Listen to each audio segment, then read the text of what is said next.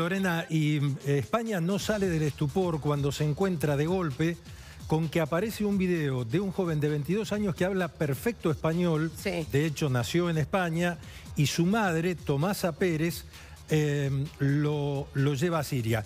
Eso lo vamos a ver enseguida, pero aquí lo que tenemos es a los terroristas que luego de este video en una estación de servicio van Sí. a perpetrar el atentado en Cambrils, Tarragona. Claro. Ellos estuvieron cuatro veces en esta estación de servicio en un lapso desde las 3 de la tarde hasta las 11 de la noche más o menos. Sí, En una de esas idas y venidas, porque acá lo único que hacen es comprar cigarrillos, bebida, Claro. qué sé yo, agua.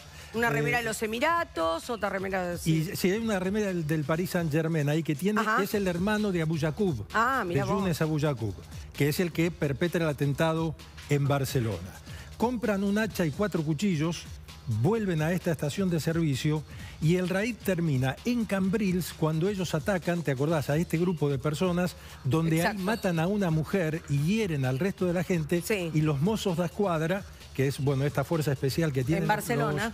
los, los catalanes, los matan a todos. Esta gente que estamos viendo aquí terminan todos muertos. ¿eh? Son los del atentado Pero mirá los vos de cómo se ríen, qué distendidos Eh, eh, que bueno, están. esto es lo que resaltan todos los que ven eh, el video, inclusive las autoridades resaltaron esto, la tranquilidad con que ellos se estaban moviendo. Eh, lo que también hablamos eh, ayer cuando mencionábamos el tema de si se arrepentían o no se arrepentían. Uno de los detenidos que está declarando ante la justicia dice que se arrepintió, pero porque los abogados se lo aconsejaron, porque en un primer momento había dicho todo lo contrario. Mirá vos. Eh, yo no sé si tenemos la posibilidad de ver a Muhammad Arán Pérez, de 22 años, amenazando a toda España y diciendo que van a volver a estar bajo el dominio de los árabes, como ocurrió hace ya Sí. varios siglos. Este es un joven de 22 años. Vamos a verlo. Después te cuento exactamente quién es. Si no puede hacer la hijra al Estado Islámico, el jihad no tiene fronteras. Hacer jihad a donde estáis. Inshallah, Allah estará complacido con vosotros. Y a los cristianos españoles, no os olvidéis la sangre derramada de los musulmanes, de la Inquisición española. Vengaremos vuestra matanza. En la que estáis haciendo ahora actual con el Estado Islámico. El Andalus volverá a ser lo que fue, tierra de califato. Bien, en este video aparece también otro hombre que habla eh, en español con mucha más dificultad, pero está claro que este joven es nacido en España. Lorena, la madre, Tomasa Pérez, eh, era hija de un, ah, es hija de un adinerado constructor de la costa española. Y resulta que en un momento cuando ella entra en la facultad se enamora perdidamente de un marroquí. Y ahí cambia su vida en absoluto. Tiene varios hijos y en el 2010 al marido lo acusan de terrorismo en Marruecos y le dan 10 años de cárcel. Ahí es cuando ella se radicaliza y en 2014 toma a este chico que es el mayor de los hijos Claro. que tiene y a cuatro más porque tiene, eh, tiene 41 años pero tiene como 5 o 6 chicos Ajá. y se los lleva a Siria. Ellos querían vivir en el califato.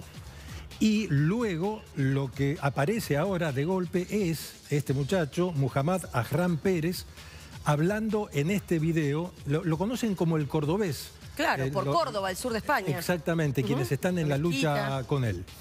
Esto, todo dentro de un contexto, Lorena, posterior a los atentados de Barcelona y de Tarragona, que están mostrando que hubo muchos puntos débiles en la prevención por parte de los españoles, que ya quedó muy claro cuando Bélgica les dice, señores, les dijimos Vos que esto el lo decías. Hoy salió tapa de los diarios, pero vos lo anticipaste ayer. Claro, o sea, se- Sí. le, habían, le habían dicho, miren que este es peligroso y no le habían hecho caso.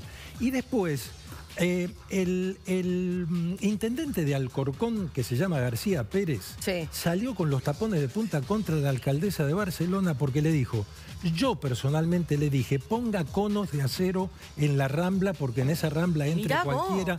Además se lo había dicho ya el, el propio Ministerio del Interior y, eh, de Madrid. Vos viste que Madrid y Barcelona son eh, eh, Las dos, polos opuestos. opuestos, ¿no? Claro. y, y muy enfrentados. Antagónicos. Insistimos entonces con que este es el video de los que perpetraron el atentado en Cambrils, en Tarragona.